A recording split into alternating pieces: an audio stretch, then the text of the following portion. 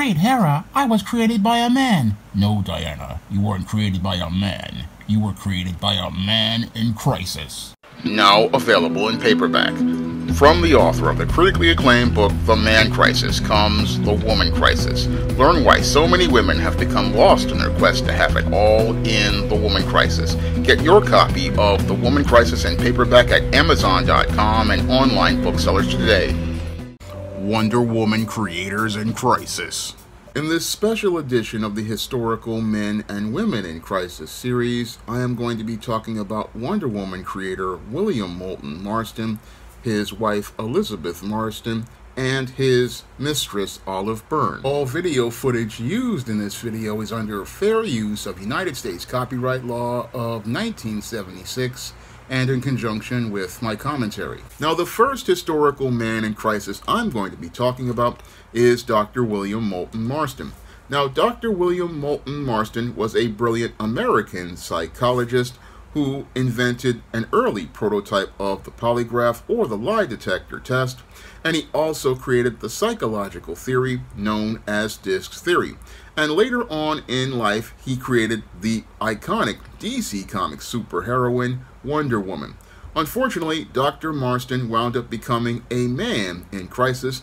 due to his support of dysfunctional ideologies and being participating in a sexually deviant lifestyle. Now, Dr. William Moulton Marston was an avid supporter of feminism, and he was not supporting women's rights because he wanted to see women go out here and be empowered. No, he was supporting women's rights because what he wanted to do was create a covert contract with feminists, hoping to get a pass for his sexually deviant behavior in exchange for him standing up to support women in getting their rights. Now, Dr. William Moulton Marston, as he was married to his wife, Elizabeth Holloway, and had a polyamorous lifestyle, which he had a partner, Olive Byrne, and in that relationship, William Moulton Marston was sexually involved with both Elizabeth Holloway Marston and Olive Byrne, and he was also sexually involved with another woman who lived with them occasionally, Marjorie Wilkes Huntley, and with William Moulton Marston, he was involved with all three of these women at the same time. Now, this polyamorous relationship was sexually deviant because he was, again, in, not only involved with all three of these women, but all three of these women were involved with each other. And this is diametrically opposed to polygyny, which Ringo talks about in many of his videos, because under polygyny, the man goes out here and makes all of the women he's involved with his wives, and all of these women have the same esteemed title of being a wife. Moreover,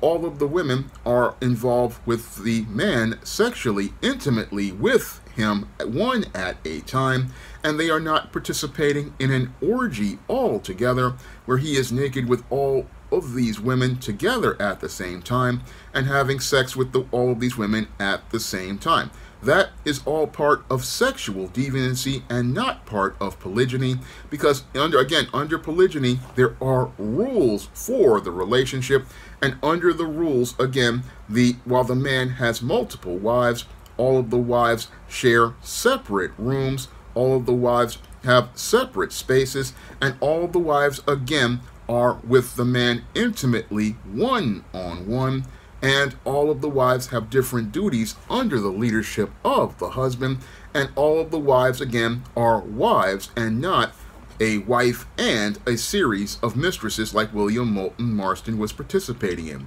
Now, William Moulton Marston was one of these guys who was well deep into sexual deviancy, and he was into sexual deviancy, and this sexual deviancy basically undermined the success he could have had as related to his overall career. Now, William Moulton Marston could have been a very wealthy man had he gone out here and looked to patent his inventions as related to the polygraph, where he wanted to measure systolic blood pressure to see if someone was lying. Unfortunately, William Moulton Marston, being a beta male, did not want to take any sort of leadership role, and he did not want to take any sort of responsibility as a man, and did not want to take credit for anything. So, what he did, like many manginas or beta males go out here and do, is look to say, oh, these inventions belong to the public, when this could have been a way to generate wealth for himself and his family. Moreover, William Moulton Marston really did not want to take a leadership position in his home, as he was involved with all three of these women. And as he was involved with all three of these women, he looked to abdicate his role of leadership and stewardship that was given to him by the Most High when he married his first wife, Elizabeth Holloway Marston, and instead looked to abdicate and give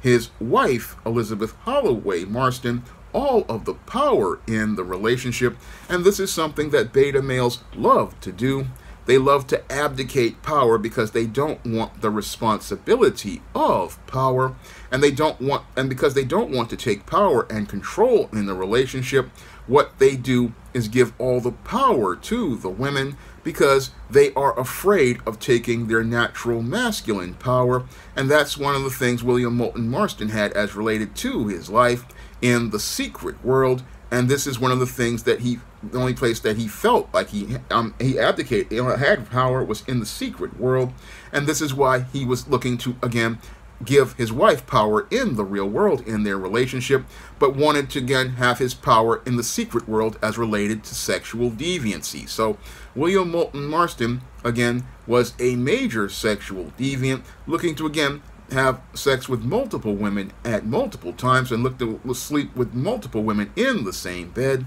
And again, this man had really, again, deviant ideas as related to sex and a lot of and all of those deviant ideas that he was participating in the secret world all of this led to things coming to a head as related to his academic career and as he was having his academic career eventually people found out about his sexually deviant relationship with these with his wife and these other women and this is what led to him winding up losing his job at the university he was working at Tufts University. And after he wound up losing his job, he wound up where, where his wife was working to take care of the family, and his part and Olive Byrne was also working by writing articles in Family Circle to help take care of the family. Now I found this to be interesting that Olive Byrne was writing articles in Family Circle because Olive Byrne and Elizabeth Holloway Marston were in an alphabet relationship,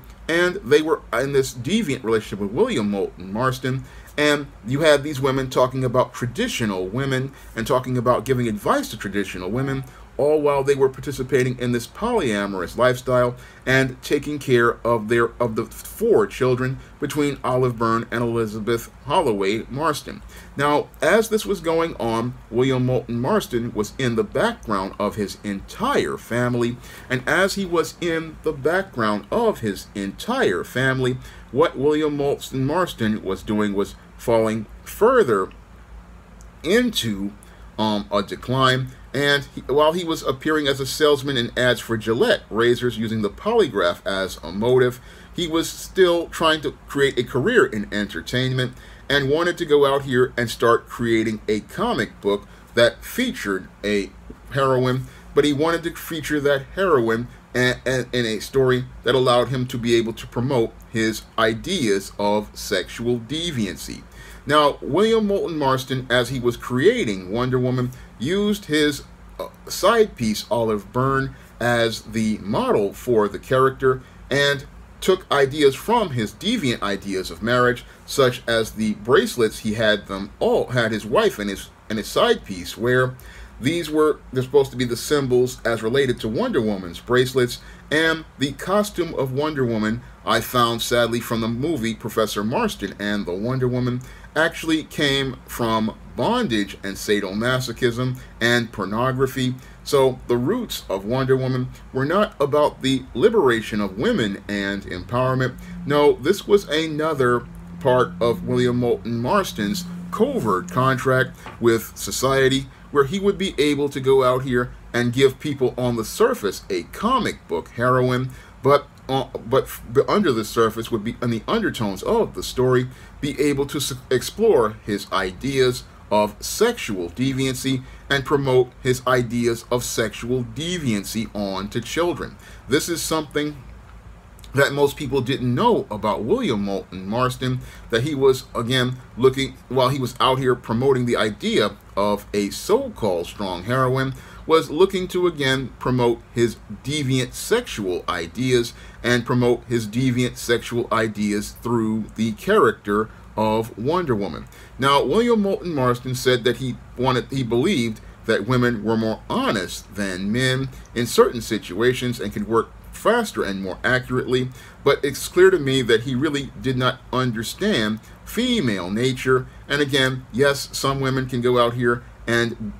appear to be more submissive and but they are not more honest than men. And I talk about this in depth in my book, Stop Simping Why Men Don't Need Finance to Get Romance, that many women lie, and oftentimes they lie all the time. So they are not more honest than men, and a lot of times they wind up putting up facades. But sadly, he couldn't see this as related to things. And as he was out here writing his essays and trying to appear intellectual, he was out here looking to go out here and again promote all sorts of deviant ideas, all under different narratives. But one of the worst that he did was under the narrative of the Wonder Woman character, where he looked to promote the idea of a so called strong heroine to women known as Suprema, the Wonder Woman. But the whole thing was he wasn't looking to promote the idea of a strong woman again. No, he what he wanted to do was go out here and create this character so that he could project his deviant ideas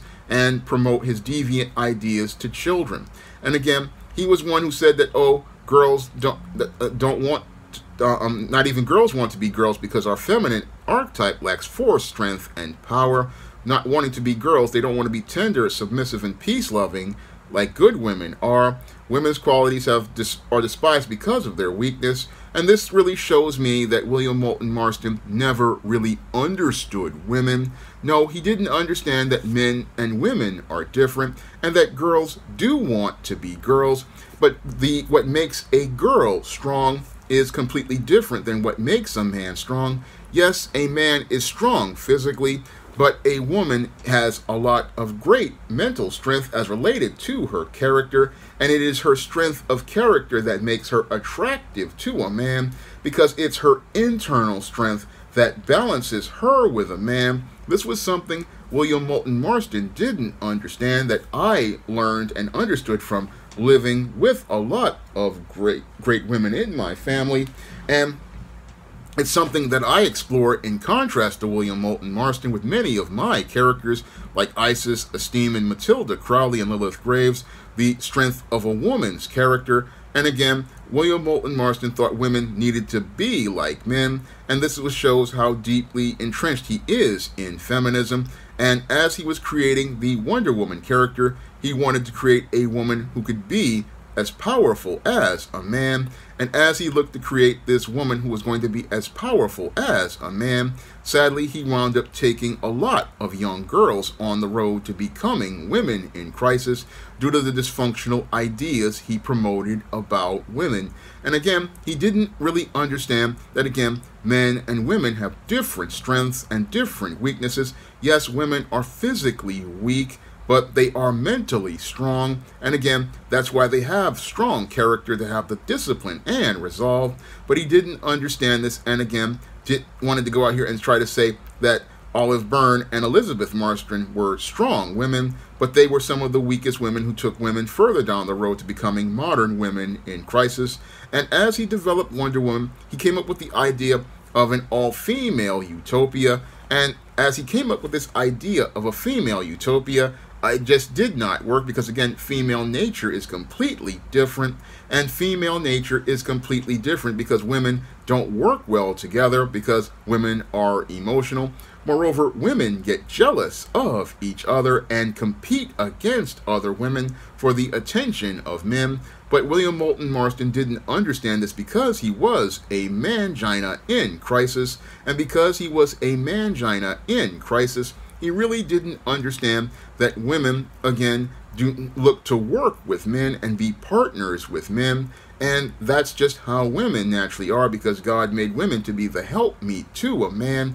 and look to serve men. And the whole idea of a woman being a powerful person that can dominate and subjugate men, this is something that comes from beta males. And again, William Moulton Marston was one of these beta males who looked to submit to the authority of women and looked to give women power because he was afraid of taking the leadership role, afraid of taking his power, because had he been a man who was confident in taking his power, he would have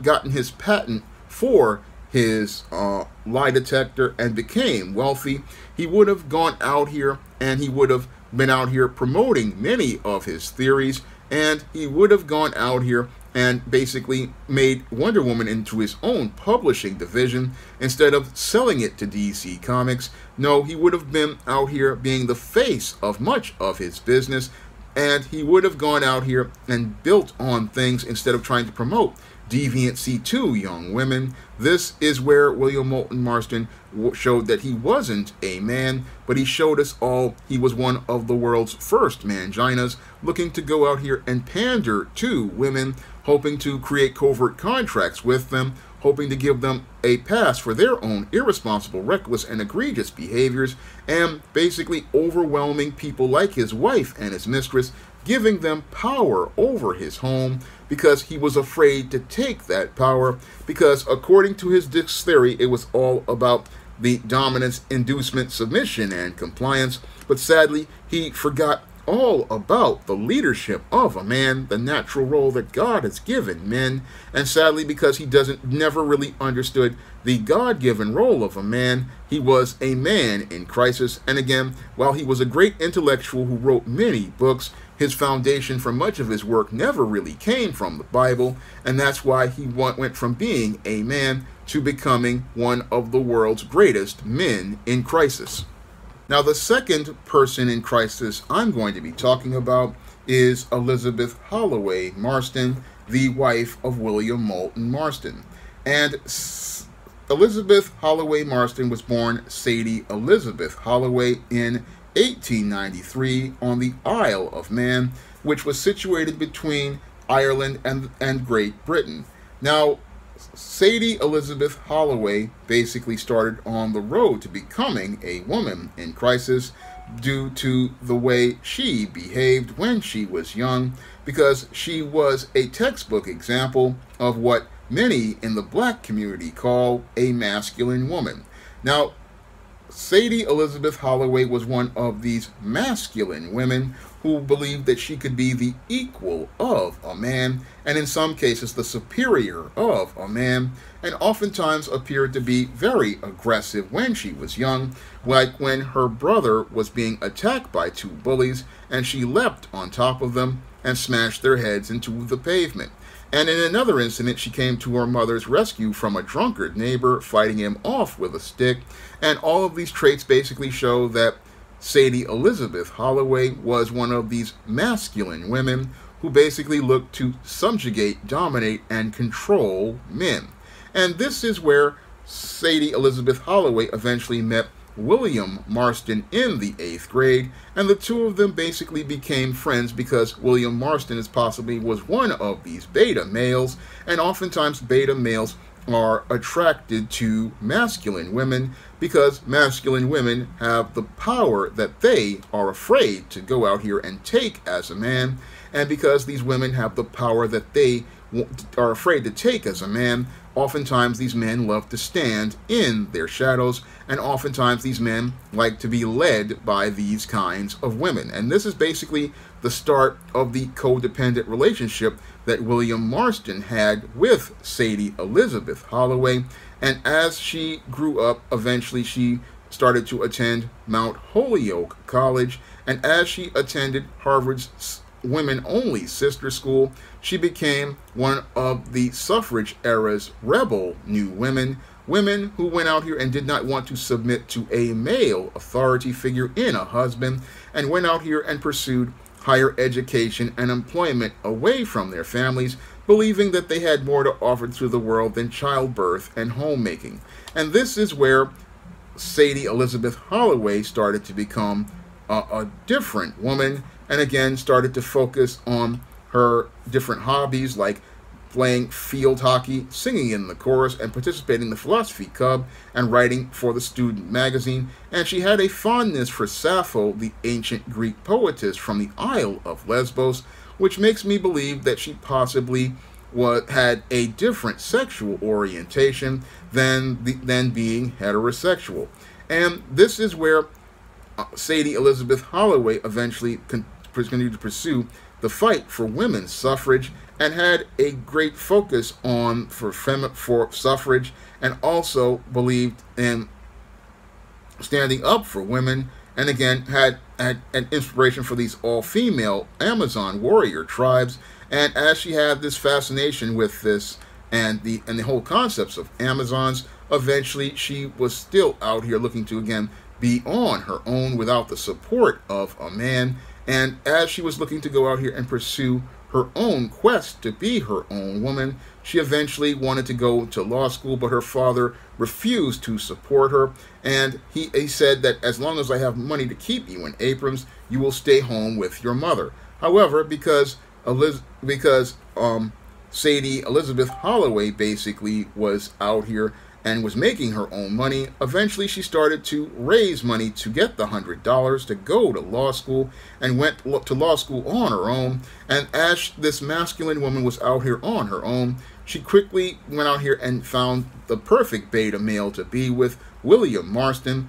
And as she married William Marston, she then took his name and became Elizabeth Holloway Marston and kept her last name, I found to be interesting, but changed her first name, again showing how she wanted to have power, and again didn't really like the tradition of changing her name, but changed it because it's the tradition. She said, as for names, we stuck with either our father's name or our husband, so you chose the one that you liked the best, and this, there's no such thing as in a civilization as having your own name. So this is possibly why she changed her name from Sadie to Elizabeth to spite her father. And again, got involved with this beta male because this beta male would allow her to have power in the relationship. And as he would allow her to have power in the relationship, he would be the one who would submit to her. And again, masculine women like men who they can go out here and get to submit to them. And this is why Elizabeth Holloway Marston got involved with William uh, Moulton Marston,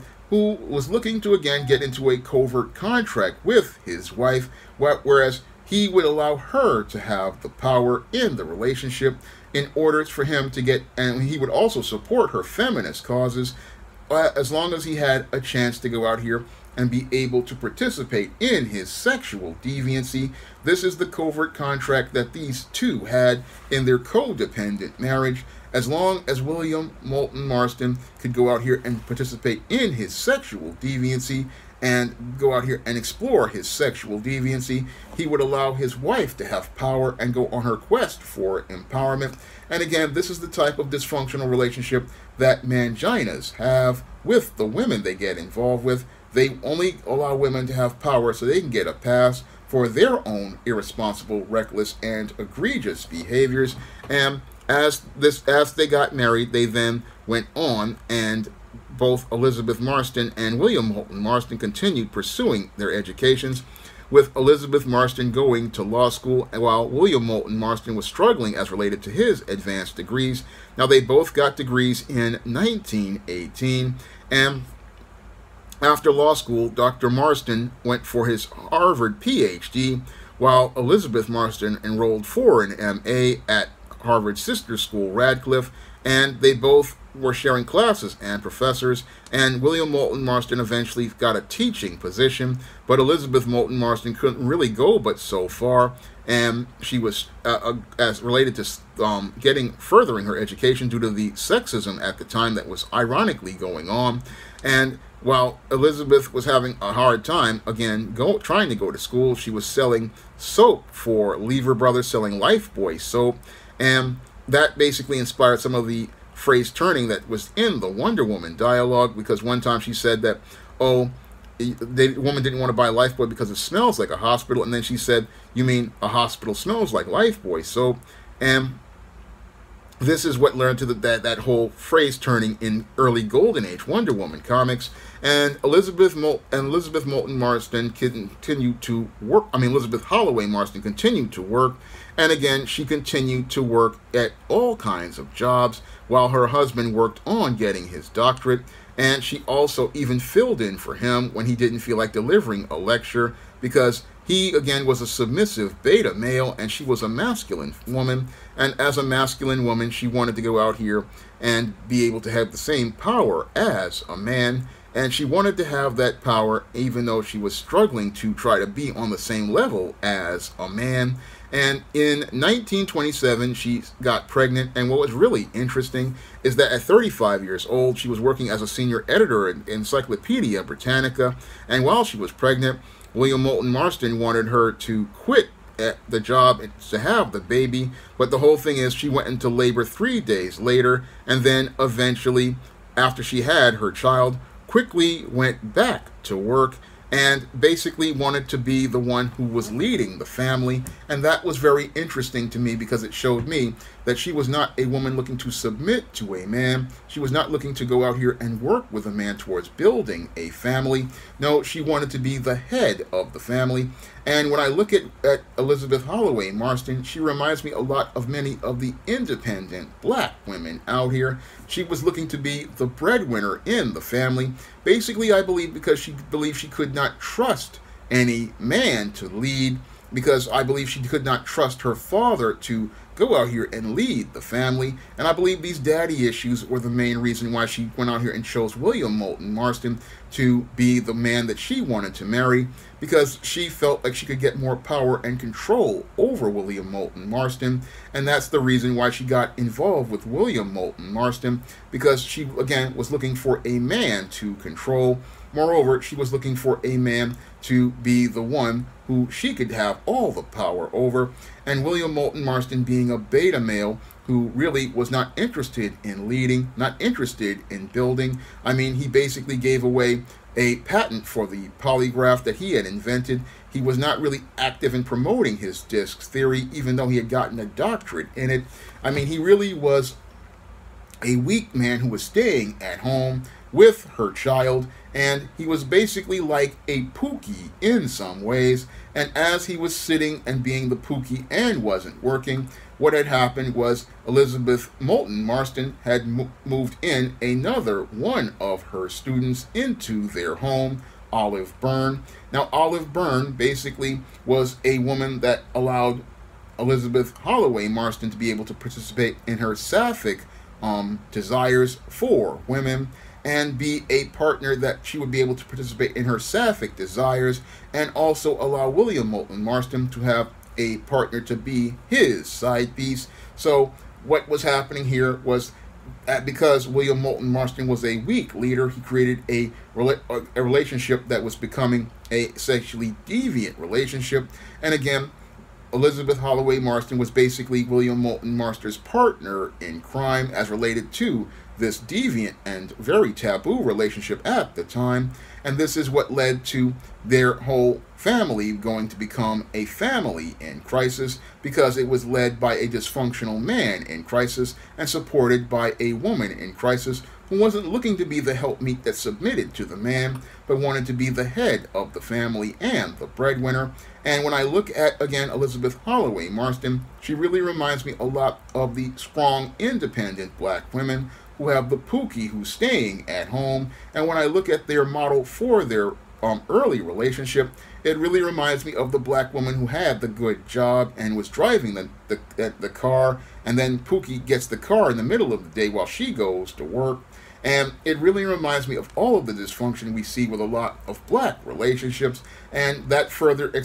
becomes more dysfunctional as she as their relationship goes from monogamous to polyamorous and this polyamorous relationship is one of the most disturbed is, is one of those ones that shows how elizabeth holloway marston was basically william moulton marston's partner in a relationship in crisis. Now the third and final historical woman in crisis i'm going to be talking about is olive byrne And Olive Byrne was the so called domestic partner of William Moulton Marston and Elizabeth Holloway Marston, and was co- considered to be the inspiration for the aesthetic look of the iconic DC Comics character Wonder Woman. However, Olive Byrne was on the road to becoming a woman in crisis due to being raised by a radical feminist, Ethel Byrne, who was the sister of another legendary feminist, Margaret Sanger, who ushered in the era of sexual promiscuity by promoting the whole idea of contraception and birth control. Now, Olive Byrne wound up on the road to becoming a woman in crisis early on because her mother, Ethel Byrne, wanted to protect them from an abusive father and decided to send her and her brother to live with their grandparents. And by sending them to live with their grandparents, this really messed up Olive Byrne's whole upbringing because without her parents there to give her any sort of nurturing or any sort of guidance or even bond with them, this made it where she was starting on the road to becoming a woman in crisis. And she was on the road to becoming a woman in crisis because she had no semblance of family structure. Now, this got worse in 1914 when her grandparents passed away and she was sent to a Catholic orphanage. And as she was sent to this Catholic orphanage, she lived there from the time she was six years old until she was 16 and didn't even know who her mother was until her mother, uh, Ethel Byrne, had her legendary hunger strike. And this was the first time she actually met Margaret Sanger, her aunt, and her mother, Ethel Byrne. And that was really sad because it showed how little that these two women cared about this child and basically left this child in an orphanage while they continued to pursue their quest for suffrage and continued to continue their quest to go out here and fight for birth control and contraception. They put they made that more of a priority than dealing with this child. And again, for Margaret Sanger, this is kind of hypocritical because she was sitting there talking about oh how she was trying to stop women from having unwanted children, and here she was with a niece that basically was treated like she wasn't wanted, abandoned in an orphanage. And this was this whole sad part about Ethel Byrne's upbringing that put her on the road to becoming a woman in crisis. Because finally when the time when her relatives come to see her they they they don't come to see her to nurture her. Basically they come to indoctrinate her into feminism and that's really the, the, the, saddest part about Olive Byrne is that she basically was induct was was not a person who set her, her own direction and course for herself no, what she was was was indoctrinated into her mother and her aunt's life's work, which was going out here to promote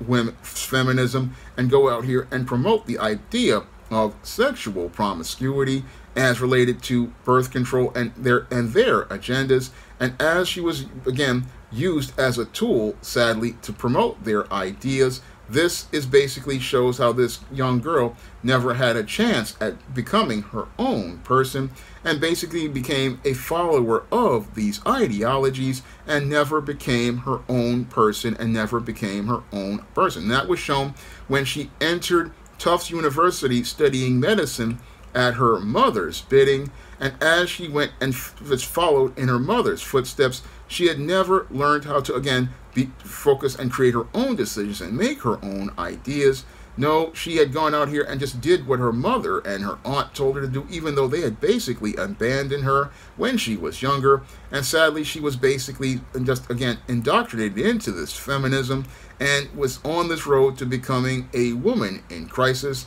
as she was further going on to pursue her higher education. Now, as she entered into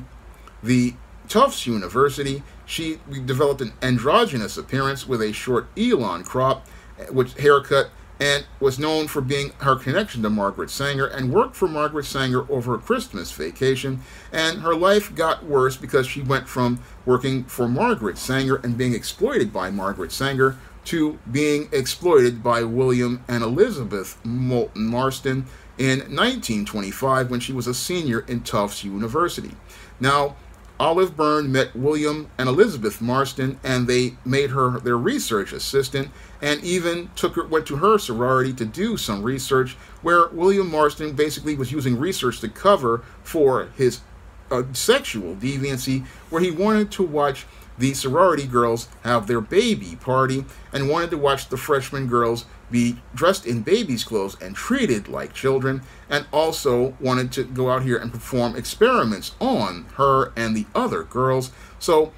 while Olive Byrne thought she was becoming her own woman as a feminist, she couldn't see how she was being exploited by William Marston and how she went from one predator, Margaret Sanger, to another one, William Marston and his wife Elizabeth Holloway Marston. And as she went out here and became a part of William Marston and Elizabeth Holloway Marston's um, group, what happened is she then became a part of their of their relationship and as she became a part of their relationship after her graduation she then began to begin a doctoral program for psychology but then had to drop out because she was having William Marston's first child um, Pete Marston and again had that child as not a wife in a in a relationship but was in what he was calling a polyamorous relationship, but it really was had nothing to do with anything as related to any sort of poly anything because he had never really made her a wife. No, he was out here just again having a, uh, Olive Byrne on the side. And not only was William Marston having Olive Byrne on the side, Elizabeth Holloway was also having relations with Olive Byrne and she was having relations with Olive Byrne because this allowed her an opportunity to explore her sapphic desires because Elizabeth Holloway Marston basically was exploring a lot of sapphic sexuality, also known as lesbianism, and she basically was looking to do this as she was having her relationship with uh, with with with William Moulton Marston, who was a beta male who was looking to submit to um, Elizabeth Holloway Marston, and all three of them participated in a deviant sexual relationship at the time, and again participated in this deviant sexual relationship because this was not a polygynous relationship. And uh, if you want to hear more about polygyny, you go over to Ringo TV Reactions or Ringo TV Raw's channel. He talks in depth about polygyny. And again, under polygyny, a man marries more than one woman, but that woman has the title, esteemed title of a wife, and that wife basically is someone who has her own space and will have intimate relations with that man by himself at one time. It's not like what William Moulton Marston was doing when he was out here with Elizabeth Holloway and Olive Byrne having both women and another woman at the same time. Again, he was basically naked having sex with all three, all two, and in some cases, three of these women at the same time. And this is where his relationship goes to become sexual deviancy. And again, what what the Marstons were doing was taking advantage of this young woman who really had no sense of self, no understanding of self, and because they had no understanding of self or understanding of who they she was, she basically was out here being exploited by William Marston sexually and was being exploited by um, Elizabeth Marston sexually and economically because she was made to be the one who would care for all of the children while Elizabeth Marston worked and was the um, de facto head of the family. Meanwhile, William Marston was basically the Pookie of the whole relationship, sitting in the back doing nothing after he lost his job at Tufts University. And after he lost his job at Tufts University, she began working as a staff writer at Family Circle and working under at, at the family circle, ironically, as she was participating in this deviant relationship, giving advice to women about how to have a traditional family. and was out here working with William Marston as he was creating his Wonder Woman character and even used her connections to go out here and create an opportunity for himself as related to getting Wonder Woman to the marketplace because it was an article in Family Circle that he was a part of that where he talked about comic books being a great place of reading for girls but in actuality again he was manipulating his uh, uh, um, um, other woman, um, Olive Byrne, so he could go out here and get that opportunity to get his comic presented. And as he got his comic presented, he was working with Olive Byrne to create the Wonder Woman character, a character that he basically got inspired to create as related to he and his wife's whole ideas of feminism, his uh, his his ideas of sexual deviancy as related to bondage and domination, and also drew inspiration from ideas from pornography at the time, and also drew inspiration from ideas from his symbolic bondage, where he symbolized instead of his his so-called marriage with a ring on the finger of his wives. No, he didn't put a ring on the finger of his wives. He put a bracelet cuff on their arms, and he put a bracelet cuff on their arms to symbolize their bondage to him and connection to him. And this was their symbol of their quote unquote marriage, but it really was not any sort of marriage. And it wasn't any sort of marriage because, again, he was having both women at the same time, and neither of the women were looking to help meet his needs because he did not want to be the leader and head of that family. No, he did not look to be the leader or head of that family. No, he was looking to find a woman to be someone he could subjugate and submit to. And because he was looking to go out here and look for a woman to subjugate and submit to, what he was looking to do was go out here and be the one who could just lay up under a woman. So, in some ways, William Moulton Marston was basically a Pookie as related to the early 20th century and was an archetype for a Pookie because he went from being a man who was out here looking to again build a career and a life and could have built great wealth but instead looked to lay under a woman and wanted to go out here and use a woman to go out here and build his career on with the Wonder Woman character, trying to make the whole narrative of strong women, but in actuality, he was dealing with one woman who was just masculine and domineering, which was his wife, Elizabeth Holloway Marston, and he was looking at a gullible, naive young woman, Olive Byrne, who did not even know who she was, and again, basically didn't have any semblance of self because she had been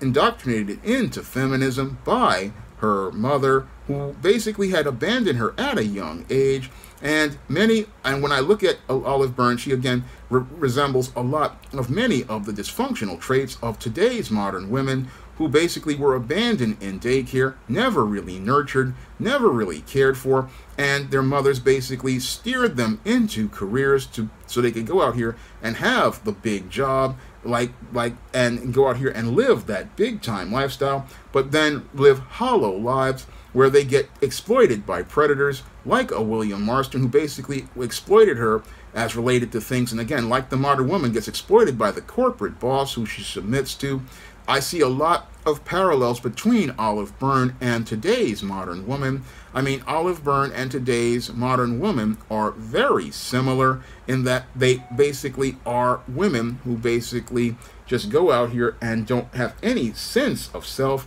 or understanding of self. And because they don't have any understanding of self, they go out here believing that they are empowered women, when in actuality they have no power at all and they have no real power over anything in their lives. And Olive Byrne basically went from being under an in an abusive home to be abandoned and then to an orphanage, then being indoctrinated into feminism, exploited by a predatory William Marston, and then when William Marston died, what she was was under Elizabeth Holloway Marston in that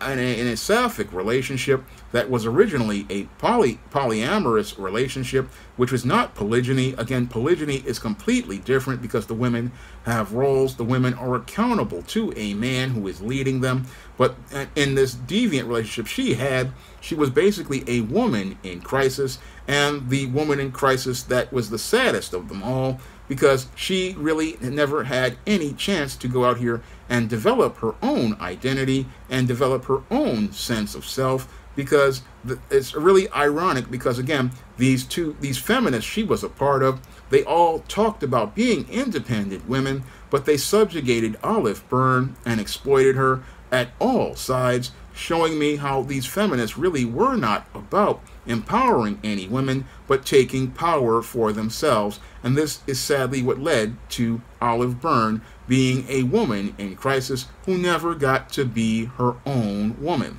now, if you want to learn more about what leads to many women becoming dysfunctional, like Olive Byrne and Elizabeth Holloway Marston, you can pick up my book, The Woman Crisis, on Amazon.com in paperback and Kindle format. You can also find The Woman Crisis at other online booksellers like Smashwords, the iBookstore, and Google Play. And if you want to